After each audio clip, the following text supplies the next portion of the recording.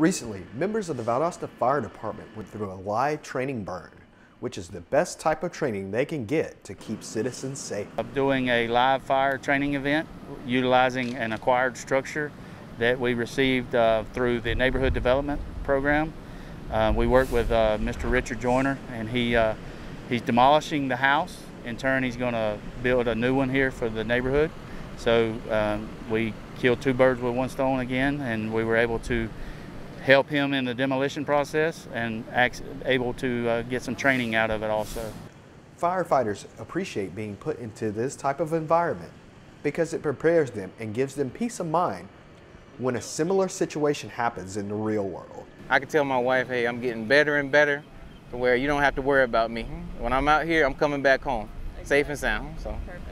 we got good guys out here training us, lieutenant, chief, just all out here making sure we, we understand what we're doing. They briefed us before, and, and of course we're gonna get briefed after on what we did and what we could have done better on. So it's all, it's all a learning um, lesson. It's all lessons to be learned.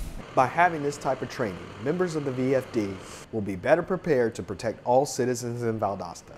A lot of our training is conducted in a, a fixed facility, burn building, which we have over on Cypress Street.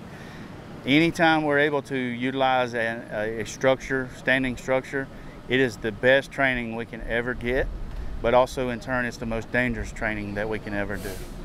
For more information, contact the Valdosta Fire Department at 229-333-1835.